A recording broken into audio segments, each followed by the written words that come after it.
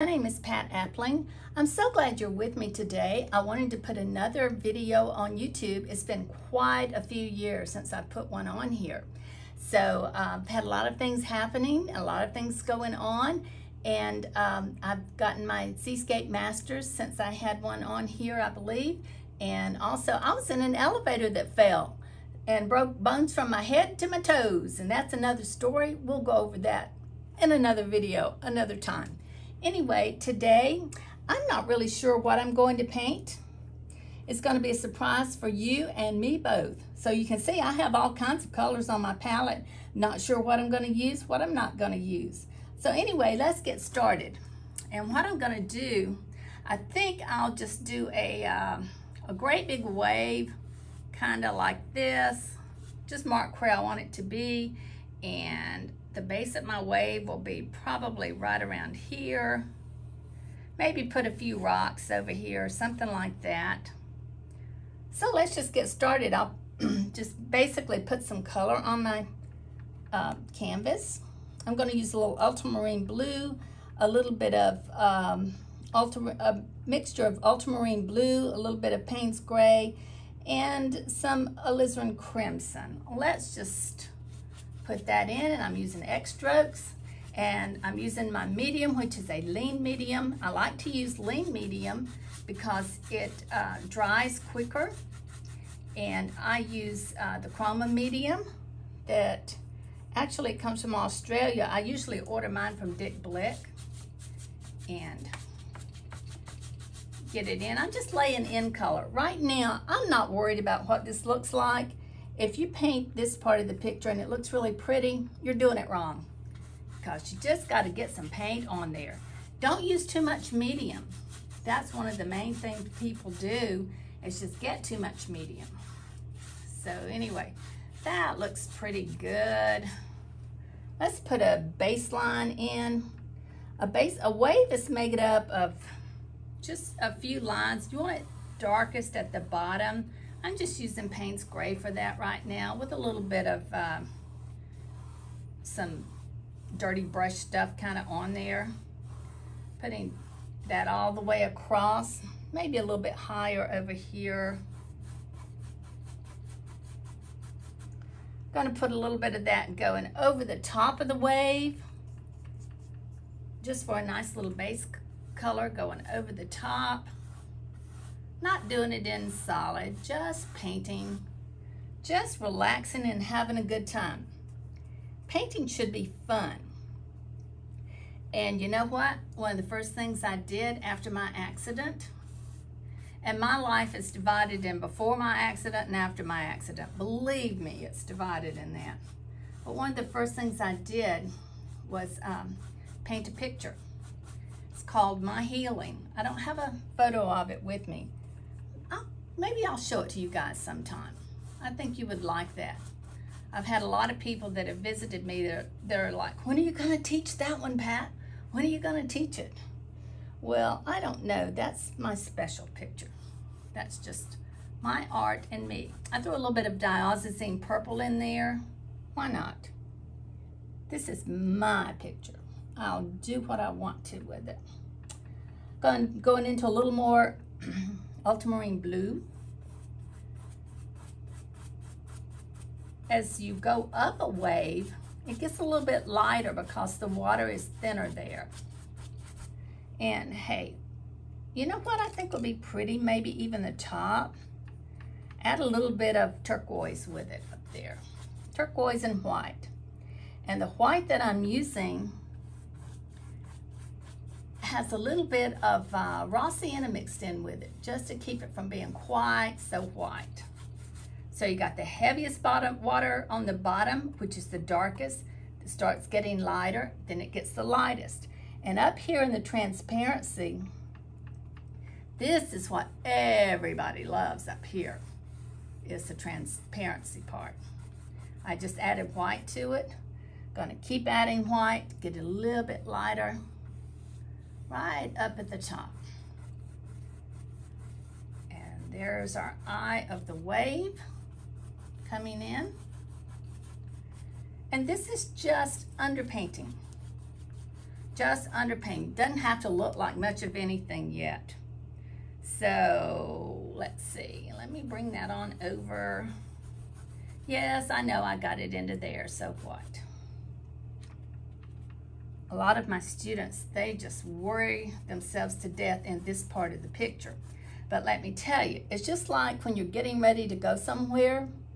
First of all, you put your, if you, well, you used to put a slip on did you worry if your slip didn't look absolutely beautiful on your body? No, because you knew you were putting your beautiful dress on on top of it. And then your beautiful jewelry on top of that. Then you just go from there. So that's the way it is with painting. We're still putting a slip on this painting. The bare, actually we're putting our Spanx on. That's what we're doing, our Spanx. and I know heaven only knows I need Spanx. So anyway, and watch the angle of my strokes that I'm using. Gotta watch the angle of my strokes. By the way, thank you very much, Eileen, for filming this for me. I know I've had you tied up in the corner until you agreed to do this, and I agreed to let you go. That's another story. So anyway, let's put a little bit of shadow on some foam for this wave. And this is just my um, lavender mix that I mixed up. Kind of a bluish lavender. I love blue lavender. And I'm gonna pull a little bit this dark up into it. Cool. Look at that. I don't like that line right there, so let me fix it. Gonna get some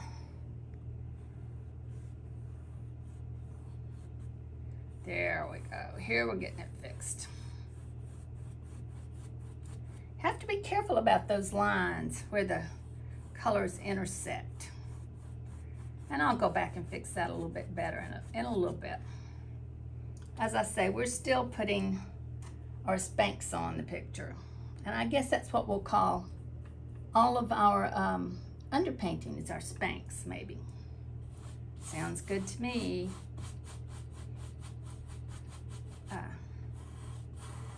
I learned so much from my teacher and mentor, Joyce Ortner. I got my Seascape Masters from her back years ago.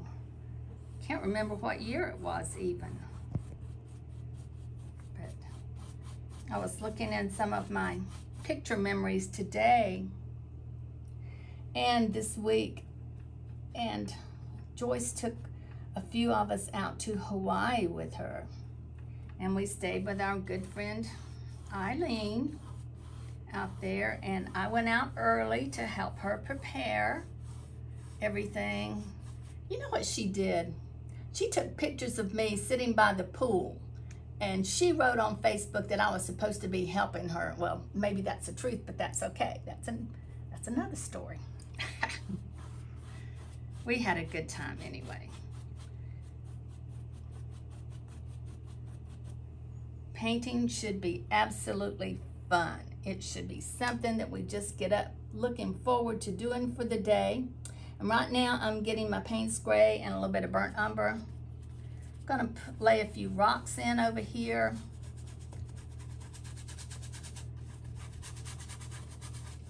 We'll give them some shape in a little bit.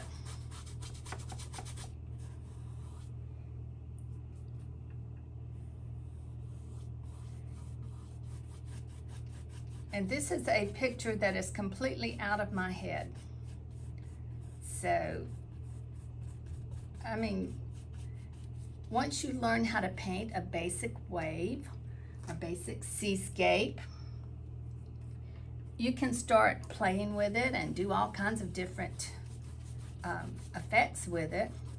But today I just wanted to do something very easy and something that we would just relax and enjoy painting. Alrighty, I'm wiping my brush out. I've got a little bit of Gamsol odorless thinner right here, but I don't like to open the thinner. I don't like to use it unless I have to. Right now I'm getting a little mixture of purple and ultramarine blue and white. get this a little bit lighter down here.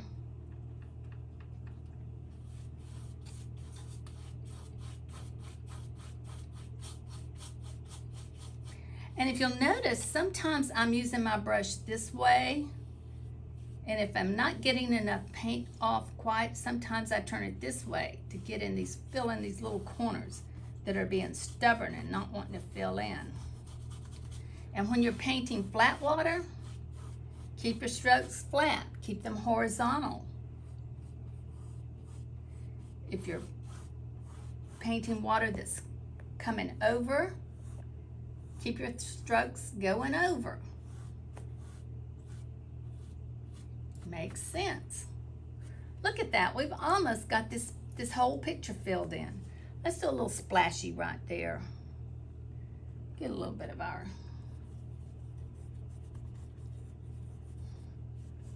got a little bit of wave coming in, hitting that rock.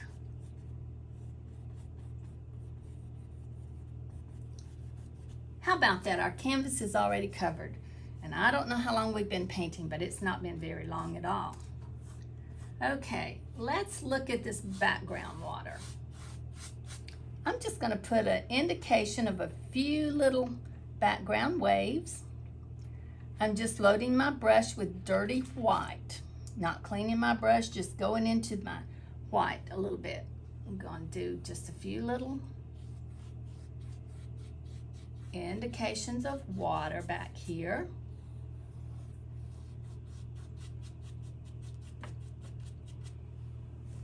It looks like a little background wave.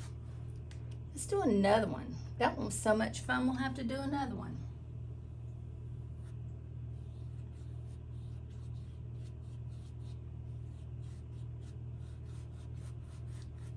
And just like magic, we've got some background waves.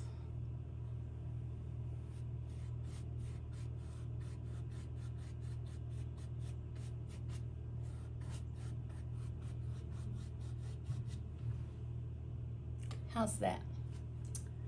Okie dokie. Now let's look at this little crash over wave right here.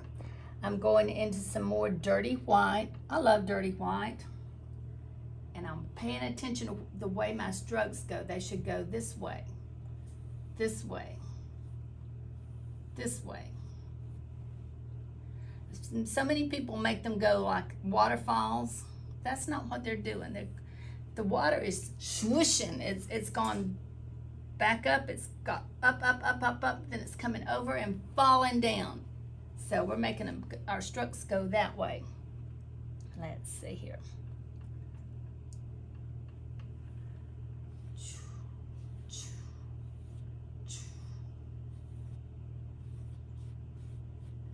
May need a little bit more medium on here. And if you don't like the way it looks when you get through with it, you know what?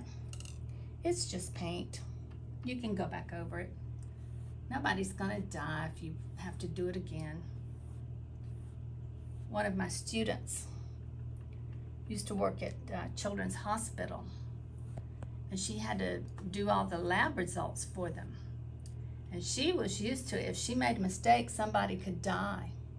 And one day she looked up and she said, you know, if I make a mistake, nobody's gonna die. And I have used that ever since. As a matter of fact, we were talking about that the other day. If you make a mistake, nobody's gonna die. It's just paint.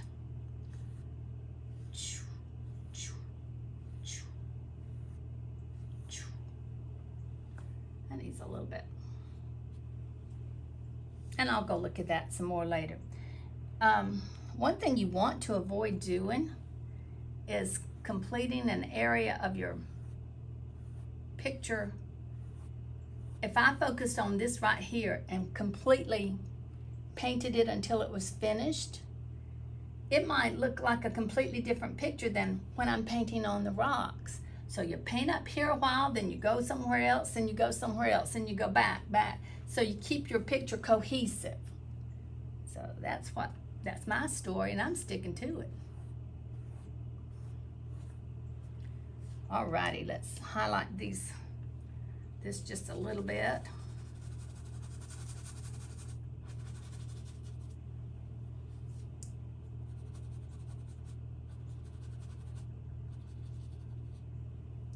I think I want that to go back up.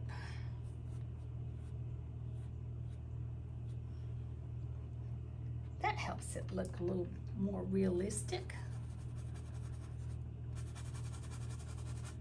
I love to go to the beach and just study the waves and watch them coming in.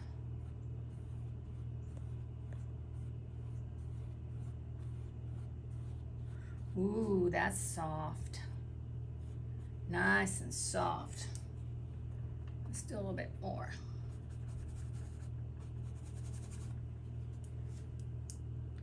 Little bit more. And you only get medium when you need it. When your brush feels like it's dragging the paint or something like that, you probably need a little bit more medium. But don't get so much medium that it's slimy on your canvas. Um, I see a lot of people that do that.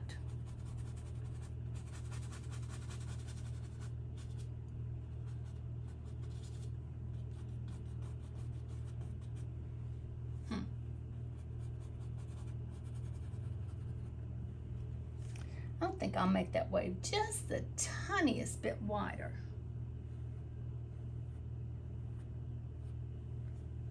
That's looking better.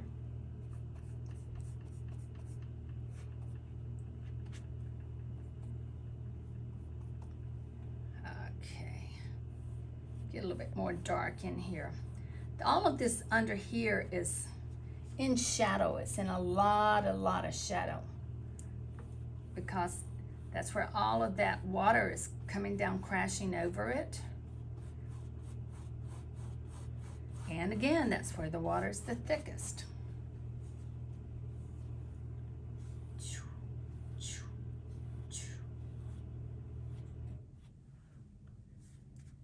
I paint a lot of things, but I tell you what, the ocean just does it for me. It's just my favorite thing in the world to paint. And I live in Georgia. I don't live on the coast. I think I should have been born maybe in Daytona Beach or something. I don't know.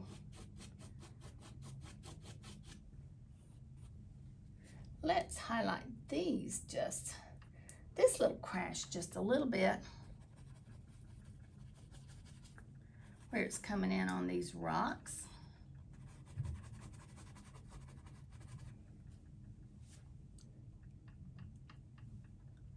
Here we go. Crash, crash, crash, crash.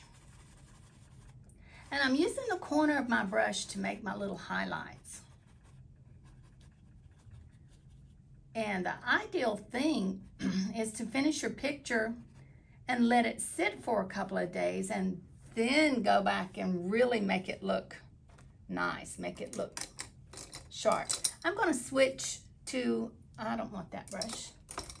I'm gonna switch to my little uh, 3 8 inch. Joyce Ortner brush. It's a baby magic brush. And I'm going to highlight these rocks just a little bit.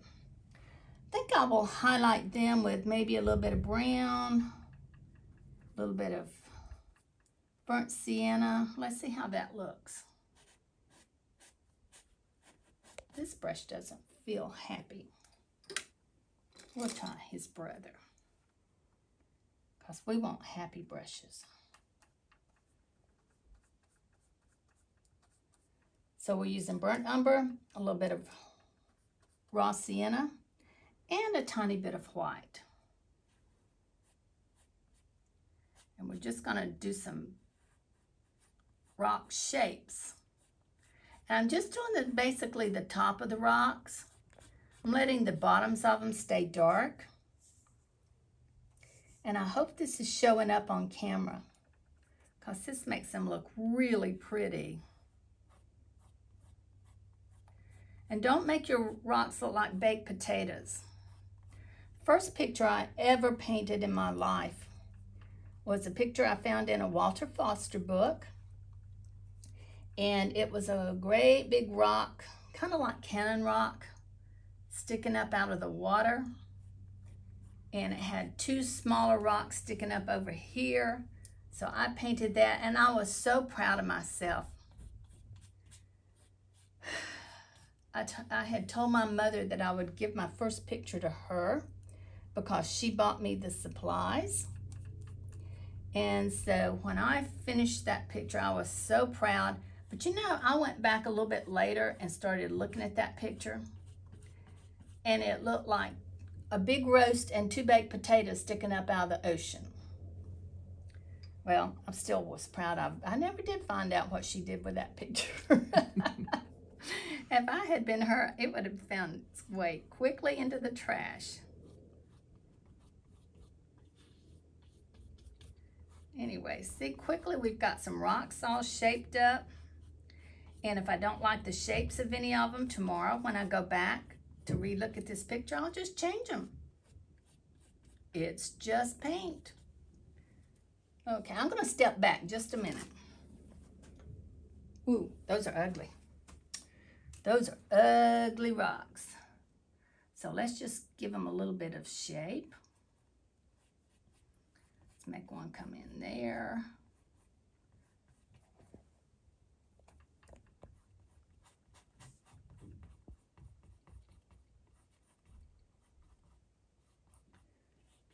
We're just giving them a little more shape. I didn't have quite enough detail in them. And like I say, I can go back tomorrow and change whatever shape that I don't like. And I do that so often. What you do the first time, you're not stuck with it. You can always go back. I've seen a picture before that was absolutely beautiful that someone had painted.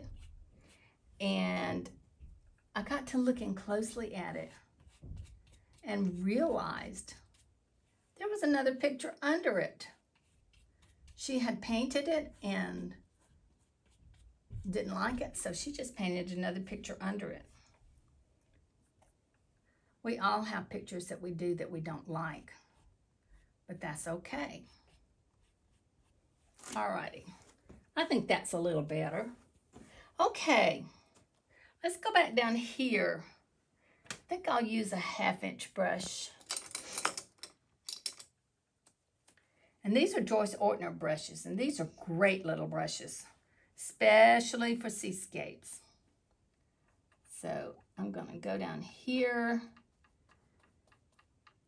And you notice that I have four different piles of white.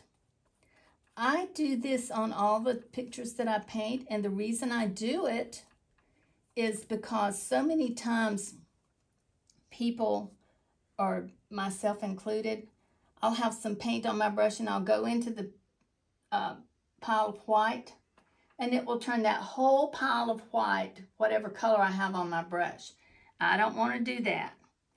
So I'll say this one, this one's staying white so I don't have to go to one of the others.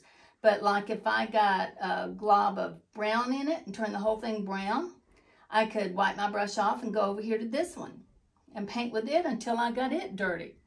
And this way you're not messing up a whole big um, uh, area of white paint. Saves a lot of paint. So down here, I'm going to put in a little bit of forward water. Using little soft cradle strokes. You know, just a little bit. And then I think I'll switch to my, um, I think I'll switch to my filbert brush. The Joyce Ortner filbert brush. Great little brush. So let's just see. I'm to add just the tiniest little bit of blue to it.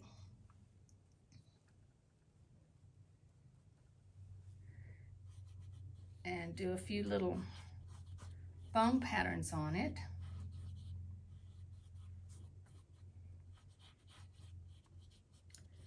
Foam patterns are a booger bear to learn how to do. I mean, most everybody just kind of flips out with them. I know we were talking to Joyce Ortner one time about how you do foam patterns, and she said, you just have to practice. You just have to do it. Uh, one thing a lot of people do is they make them into little worms. They have them very skinny and they're just like little worms. We don't want little worms.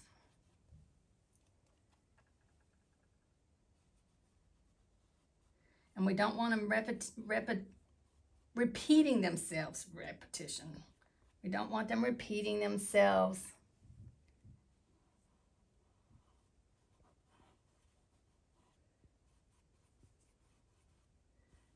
Another thing, when you're doing, when you're painting your oceans, when you're painting anything, don't hold that brush like this and try to draw things in because it will look like a child has been trying to color in their coloring book.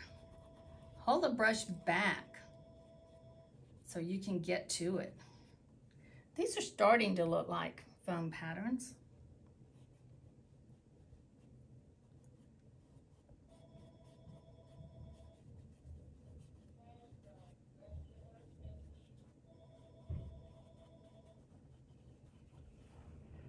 Okay, let's do a few going kind of up here.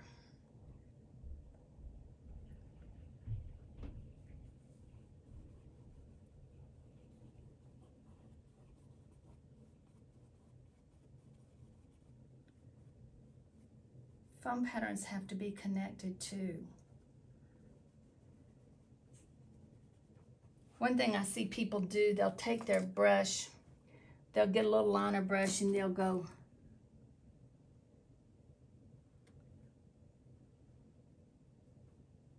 it, it, it, it's not a foam pattern. I don't know what it is, but it's not a foam pattern.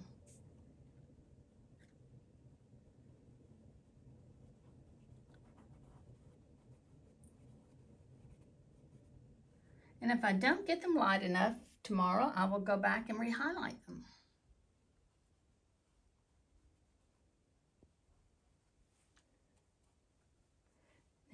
Few of them are going back behind this wave.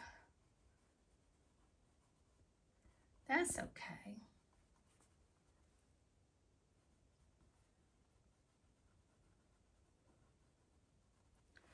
Okay, they're looking a little bit wormy. So I'm just going to take my mongoose brush and soften them out a little bit.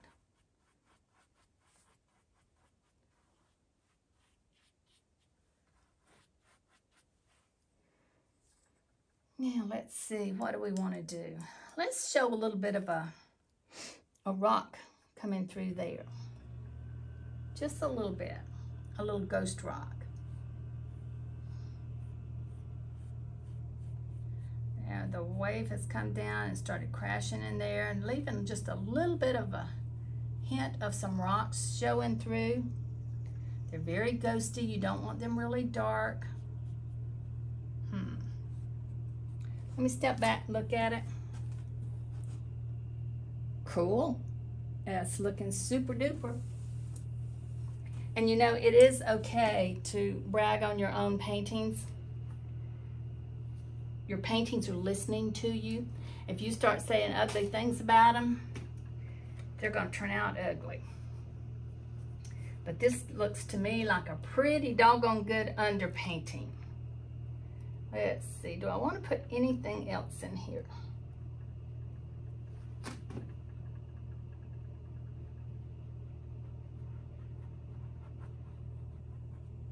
Just an indication of a, another little foam pattern coming up. Let's do a little bit of a splashy up here.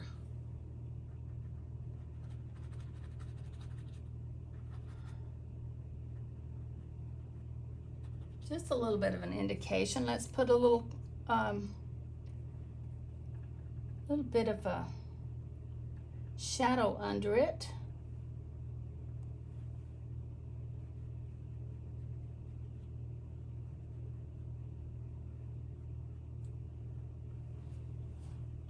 I still think I need a little bit darker right in there. Okie dokie.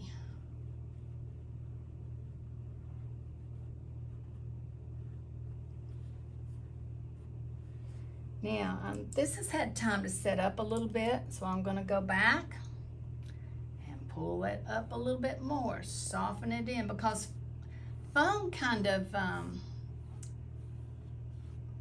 flows up and down. I don't know if that makes any sense, but it kind of flows up and down your wave.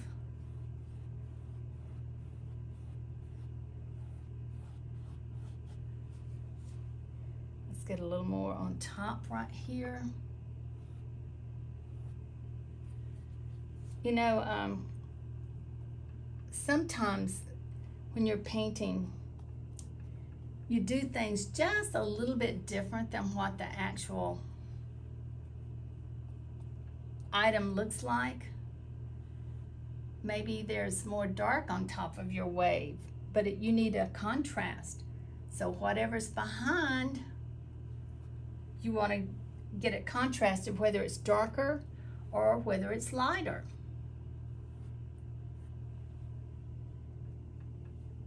Contrast is the name of the game. I think that looks good. So let's just keep it going. And then we'll come down a little bit more and highlight the foam again. Told you I'd be back to there.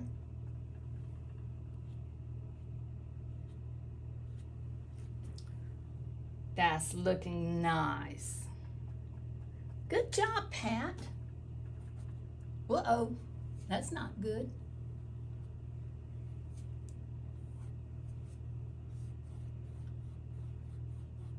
When you make a boo-boo, you just wipe it off. And that's okay.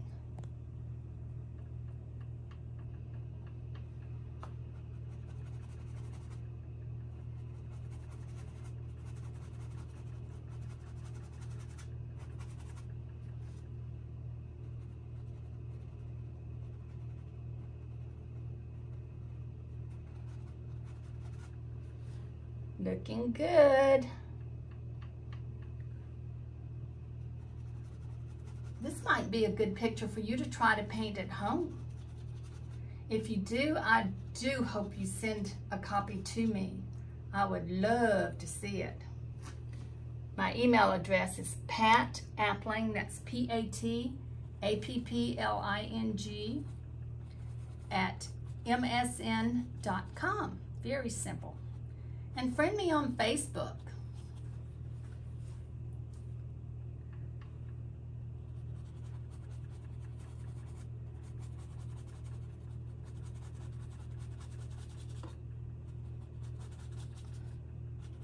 You don't want too much going on right on the outside of the canvas because you want your eye to stay inside the canvas.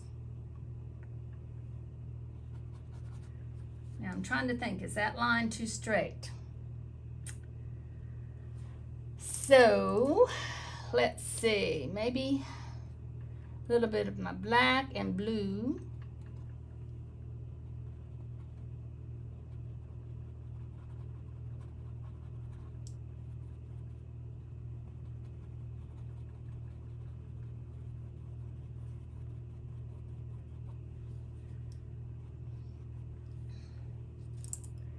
Now go back over that with some white. I've just, just reshaped the bottom of the, and still don't have it dark enough.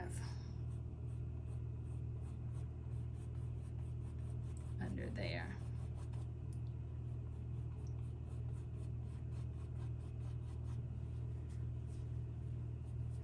Wipe, wipe, wipe.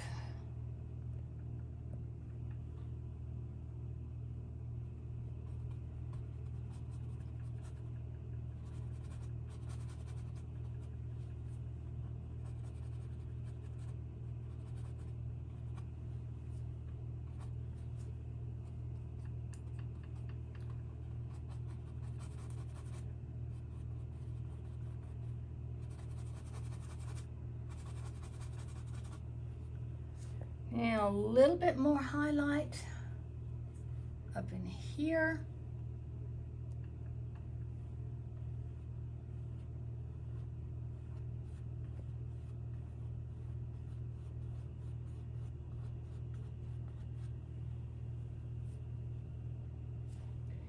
And I think we've about got a picture.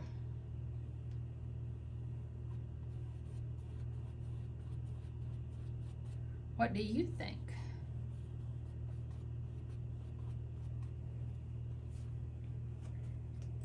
Again, my name is Pat Appling. Thank you so much for being with me today. Now this picture will be perfect to sit overnight and tomorrow I'll go back and I'll relook at it. I'll highlight it. I will put um, darks back in where darks need to be. If anything needs to be reshaped again, I will reshape it. But thanks again and my name is Pat Appling. A-P-P-L-I-N-G. My email is patappling at msn.com. And thank you so much for being with me. Until next time.